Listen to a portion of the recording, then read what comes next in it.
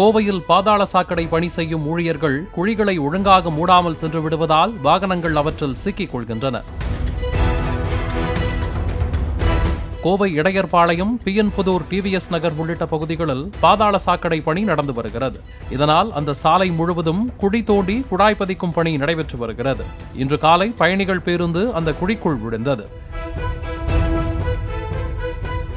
அதனால் அந்த சாலையில் போக்குவரத்து பாதிப்பு ஏற்பட்டுள்ளது. அதேபோல அடுத்து வந்த ஒரு ஜீப்பும் அருகில் உள்ள குழியில் விழுந்தது. அடுத்தடுத்து வாகனங்கள் பள்ளங்களில் விழுந்ததால் பரபரப்பு ஏற்பட்டது.